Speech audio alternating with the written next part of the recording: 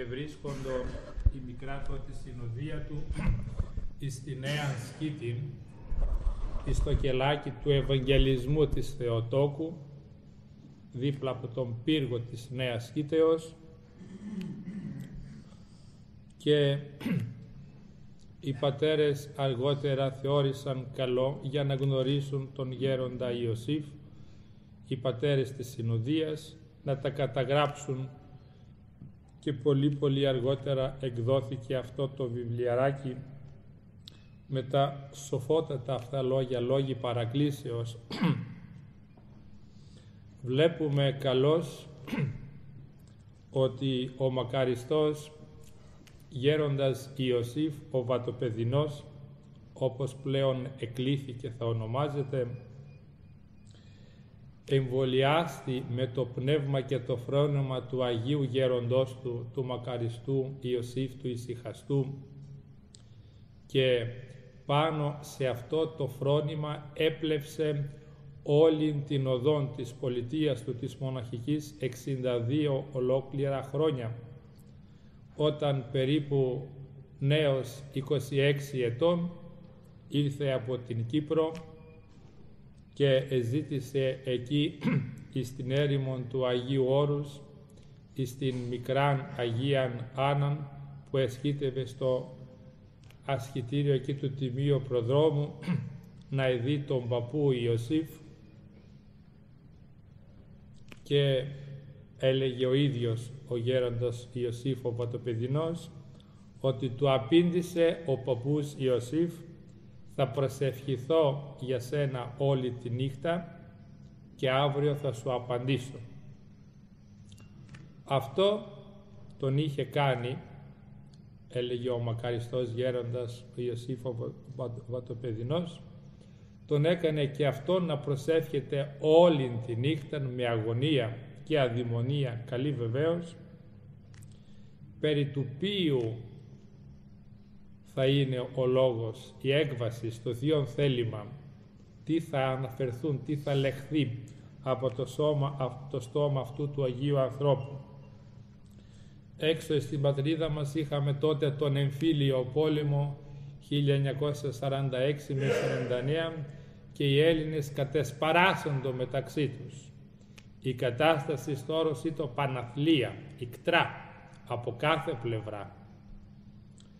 Δεν υπήρχε εμπιστοσύνη ο ένας προς τον άλλον. Η πνευματικότητα ήταν στον πάτο, όχι σε όλους, σε πολλούς. Ισχολούνται με τα θέματα της επιβιώσεως, τα τετριμένα, τα τυπικά. Περιουσίας για τα νηπτικά, τα φιλοκαλικά, ελαχιστότατη. Ένας από αυτός, ο γέροντας Ιωσήφ, ο ησυχαστής, την επομένη ημέρα είπε με χαρά ο μακαριστός γέροντας Ιωσήφ ο σπηλαιώτης και ησυχαστής ότι έχει ευλογία παιδί μου να μείνεις στην συνοδεία μας είναι θέλημο Θεού. Φαντάζεστε τι χαρά μέσα του θέρους του 1947 αυτά τελεισιοργούνται τότε εκεί.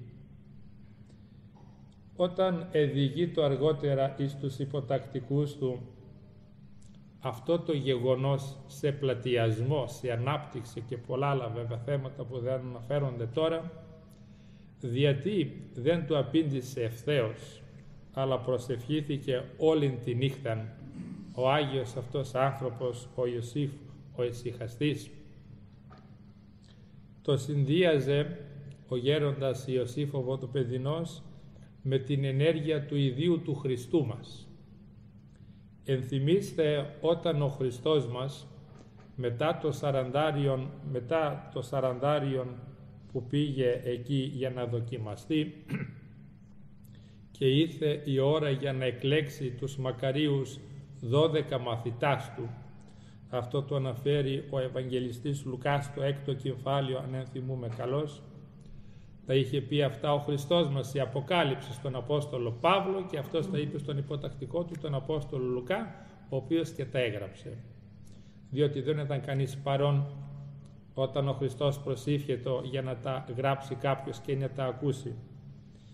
Γράφει λοιπόν ο Απόστολος Παύλος και τα διηγήθηκε στον Λουκά, ο οποίος κατέγραψε στο Ευαγγελιό του ότι είναι διανυκτερεύον εν την προσευχή όταν ήρθε η ώρα να εκλέξει τους μαθητάς του, τους δώδεκα.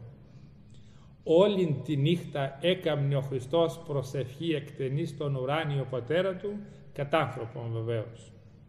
Αν ο Χριστός μας προσεύχεται όλη τη νύχτα και πολλές φορές το έκανε αυτό και και πήγαινε σε έρημους τόπους, σε ήσυχους τόπους για να προσεύχεται με κορυφή τη μεγάλη αυτή εκτενή προσευχή στη Γεστημανή που όταν κανείς το σκέπτεται συγκλονίζεται.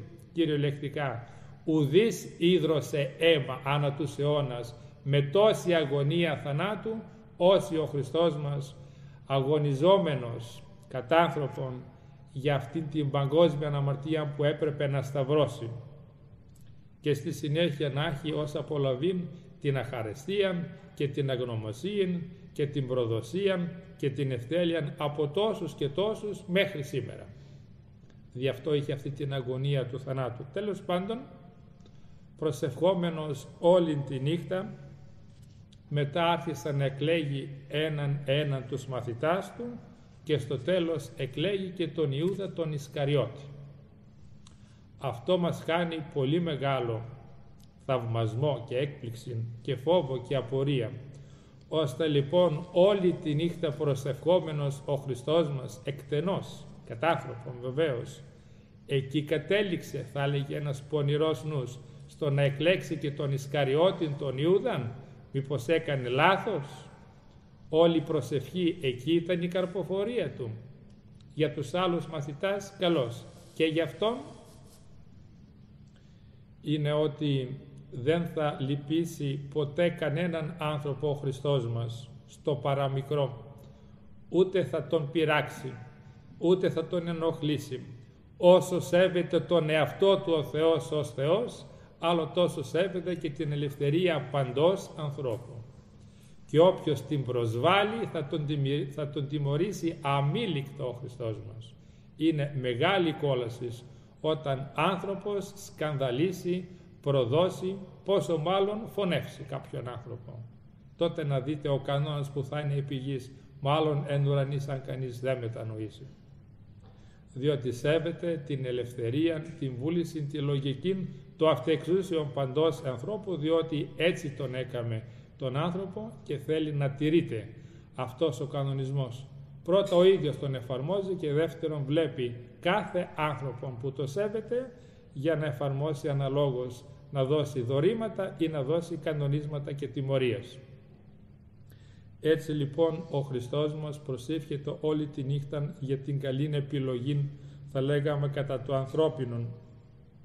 Και αυτό φαίνεται μιμήθηκε ο μακαριστός Άγιος Γέροντας Ιωσήφ ο ησυχαστής και σπηλαιώτης, διότι προέβλεπε στο πρόσωπο αυτόν, προείδε προφητικά εφόσον τώρα εκοιμήθηκε, απήλθε του κόσμου τούτου και δεν κινδυνεύει από αυτά που λέμε για να έχει κάποιος λογισμός υπερηφανίας, αν και αυτός ο γέροντας ήταν μακριά από τέτοια πράγματα, όπως τον γνωρίσαμε έστω και δύο λίγων.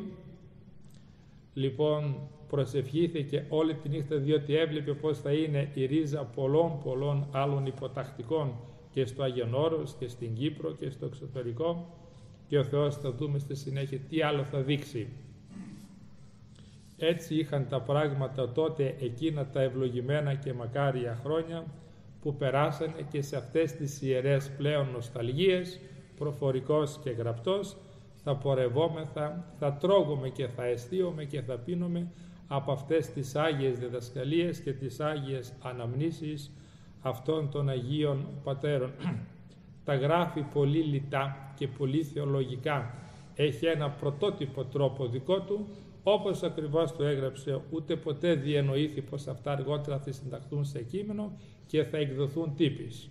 Δεν είχαν ποτέ τον λογισμό αυτοί οι πατέρες κάτι τέτοιο. Τα έλεγαν για τους υποτακτικούς των, τα έλεγαν για να ωφεληθούν αυτές οι ψυχές, μόνο ότι ήταν φτωχοί οι πατέρες, δεν, έχουν, δεν είχαν ούτε και τα απλά μαγνητόφωνα και έπρεπε να είναι ταχυγράφοι και να συντάσσουν μερικά θέματα, να τα γράψουν για δικές τους ευλογίες και ενθυμίσεις και αργότερα τα σύνοψαν όλα μαζί, τα συγκέντρωσαν και έτσι λοιπόν βγήκαν αυτά τα τεφίδια, αυτά τα βιβλία. Ας έχουμε τις ευχές όλων αυτών των πατέρων, οι οποίοι ένας-ένας θησαυρίζονται πλέον στην Βασιλεία των Ουρανών και θα μας παρακολουθούν ασκαρδαμιχτεί από εκεί. Πώς πορευόμεθα, εάν εφαρμόζουμε αυτά που διδαχθήκαμε, εάν βαδίζουμε σύμφωνα με τις νουθεσίες και τις εντολές του, διότι τώρα είναι η πραγματική, αν θέλετε, η τέλεια υπακοή, όταν απέλθει κανείς του κόσμου τούτου.